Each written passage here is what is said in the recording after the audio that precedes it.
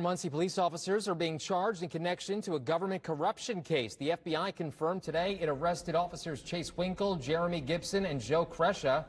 Winkle was placed on unpaid suspension last month. Gibson and Krejsa was uh, were rather on active duty and will be now placed on administrative leave. Just yesterday, the FBI announced the arrests of a different police officer and the father of the city's former building commissioner convicted of money laundering and wire fraud. The case also led to the arrest of Dennis Tyler who at the time was mayor of Muncie.